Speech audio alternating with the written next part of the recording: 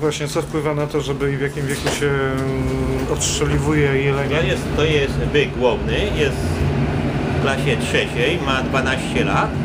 Opisując jego poroże, to musimy zaznaczyć takie elementy jak róża, która wyrasta, wyrasta bezpośrednio z możdżenia. Tu mamy możdżeń, który jest schowany. Czaszka jest cała osłonięta, żeby się nie uszkodziła, ale tu mamy możdżenie, tu mamy y, róże. Od róży wyrasta oczniak. To jest odnoga, która się nazywa oczniakiem. Niektóre jelenie mają jeszcze nadoczniaki, czyli w tym miejscu powinna być jeszcze jedna odnoga. On tego jest pozbawiony. Natomiast tutaj mamy następną odnogę. Ta odnoga nazywa się opierakiem.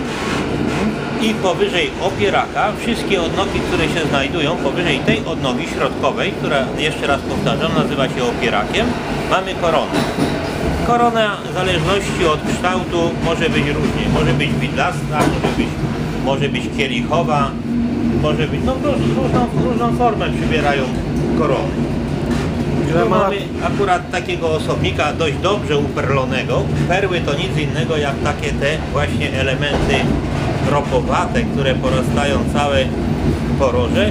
I tu widzimy wyraźne takie bruzdy. Te bruzdy to nic innego jak potoki żył, które tutaj się znajdowały, które dostarczały krew do wzrostu tego poroża.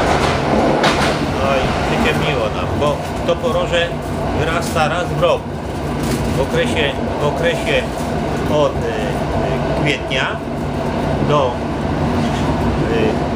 no, końca lipca ona zostaje już ukształtowane, po czym w połowie lipca już zaczyna się wycierać. No także na 21 sierpnia z reguły stare osobniki mają już poroże powycierane i przystępują do rykowiska. Rykowisko to nic innego jak okres, okres godowy, okres godowy jeleni. Tak? Dziękuję bardzo.